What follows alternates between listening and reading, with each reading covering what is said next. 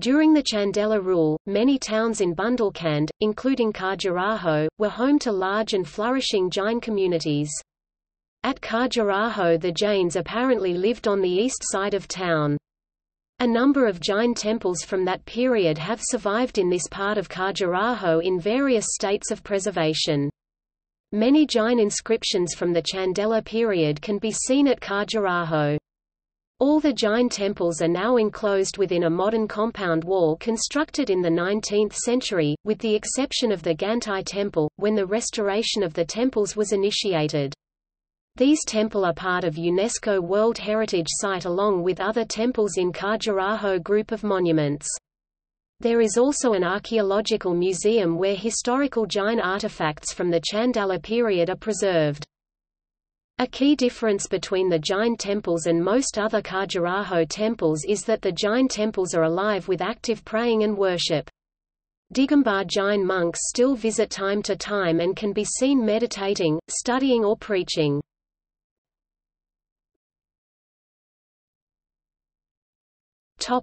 Temples. Two of the large temples still stand in a good state of preservation in the original form. The portico of the Adinath temple is a later addition. The enclosed Shantinath temple houses a massive monolithic Shantinath image. It also incorporates at least one other Chandela period temple. To the east of these temples are several small Chandela temples that have been restored using masonry. The temple complex underwent restoration in 1870 AD, when a Gajrath festival was organized by Kanchhedtilal Jain of Nagaur marking a renewal of the site accompanied by installations of new images, as indicated by the inscriptions. The stone structures were stabilized using masonry and the Shantinath temple was constructed incorporating two Chandela period temples.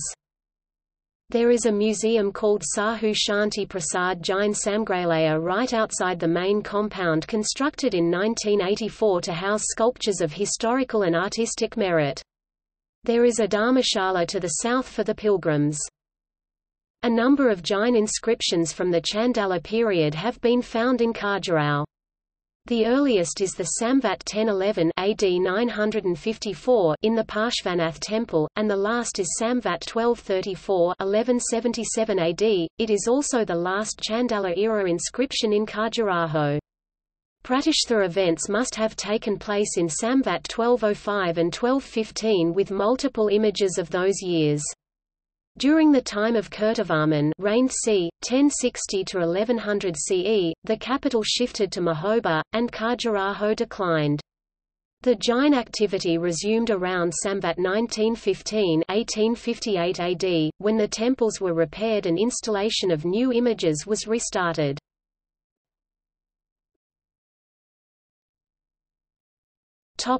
Parshvanath temple This temple contains an inscription dating from 954 AD by its builder Pahila, mentioning donation of gardens and requesting future generations to safeguard the temple. It mentions Chandela Dhanga as the reigning king. A well-known early magic square is found in this temple. This is referred to as the Chautisa 34 yantra, since each sub-square sums to 34.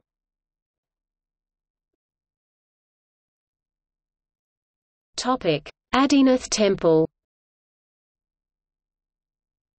The Adinath Jain temple contains an idol with an inscription dated to year 1027 during the rule of Chandela king Madanavarman.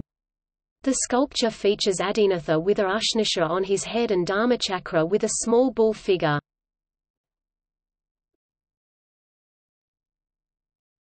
Shantinath temple The Shantinath temple is a modern composite structure that incorporates sections of several temples and has several shrines. The main section has a 15 feet (4.6 meters) idol of Lord Shantinath with an inscription of year 1028 vs 1085.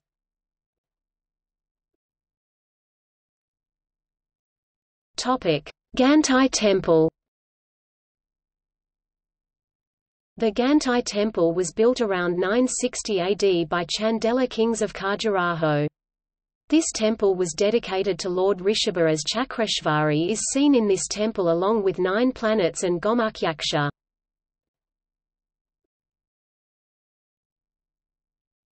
Topic Gallery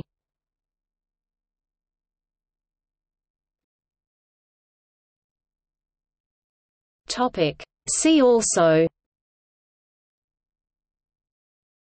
Jainism in Bundelkhand Jain sculpture